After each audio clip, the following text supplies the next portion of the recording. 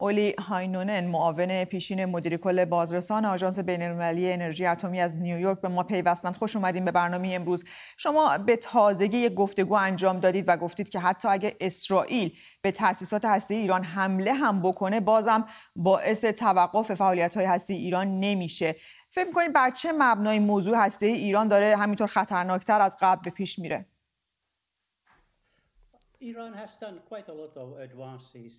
ایران دست به اقدامات زیاد زده در یک سال و نیم گذشته به دلایلی و پیشرفت داده برنامه هسته رو. سرعت بخشیدن به غنیسازی اورانیوم فلز اورانیوم رو ساختن. و در این حال منابعشون رو هم دارن درشون گسترگی و تنوع بیشتری ایجاد می‌کنن. بنابراین خیلی سختتر شده شرایط اگر که واقعا کسی بخواد به فکر حمله نظامی باشه. اروپا و آمریکا تنها ابراز نگرانی می‌کنن توی ماهای اخیر. فکر می‌کنید برنامه اتمی ایران تا چه اندازه خطرناکه و اگر واقعا اونقدر خطرناکه چرا اینقدر منفعلانه دارن کشورها عمل می‌کنن؟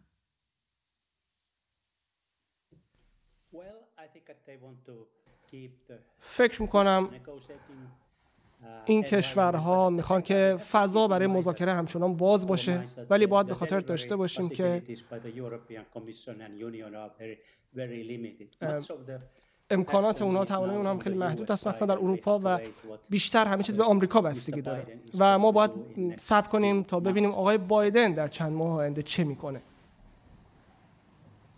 خب اگر فرض رو بر این بذاریم که در آینده نزدیک بازگشت آمریکا به برجام و بازگشت ایران هم به تعهدات هسته‌ای رو داشته باشیم اما ایران مسیر رو که رفته شاید دیگه بازگشتی از اون وجود نداشته باشه به چیزهایی دست پیدا کرده باشه که همچنان خطرناکه. فکر می‌کنین شرایط به پیش از برجام برمیگرده؟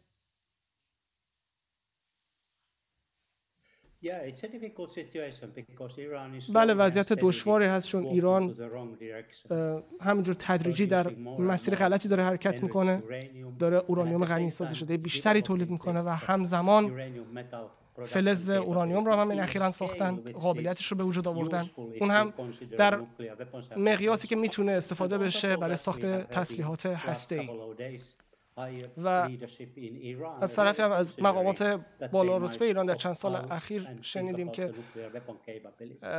شاید فکر بکنن و برن دنبال قابلیت های تسلیحات هسته ای فکر می‌کنین که بر مبنای اون تهدیداتی که حتی وزیر اطلاعات ایران هم تو چند روز گذشته کرد آیا واقعا جمهوری اسلامی داره به سمت ساخت بمب اتم حرکت می‌کنه؟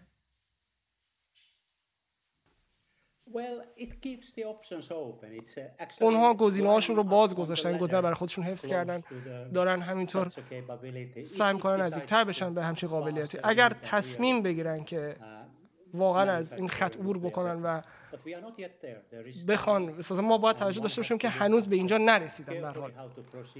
و فکر نمی کنم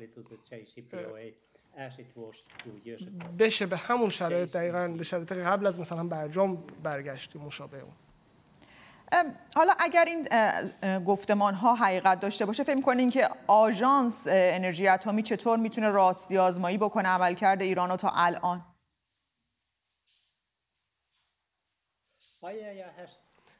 آژانس بین المللی انرژی اتمی باید از حمایت کامل اعضاش برخوردار باشه و نیاز به همکاری ایران داره. این دو چیز خیلی مهمه. و فکر می‌کنم تا الان یه مقدار ناراحت کننده بوده. واقعا سرعت پایینی که داشتن ایرانی ها در پاسخ دادن به سوال ها و درخواست های آژانس بین المللی و این یک روکر اشتباهی است و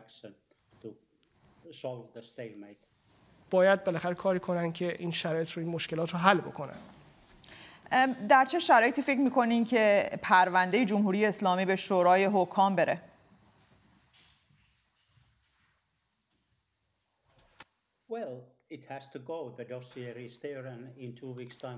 دو هفته زمان لازم است تا این اینها مورد بررسی و گفتگو قرار بگیره. من حداقل مکاتبات قبلی آژانس رو که نگاه می‌کنم مشخصه که ایران نه تنها به تعهدات برجامی بلکه به تعهدات مربوط به پادمان ها هم عمل نمی‌کنه و این یک مشکل خیلی جدیه. ممنونم از شما اولی هاینونن معاون پیشین مدیر کل بازرسان آژانس بین المللی انرژی اتمی از نیویورک.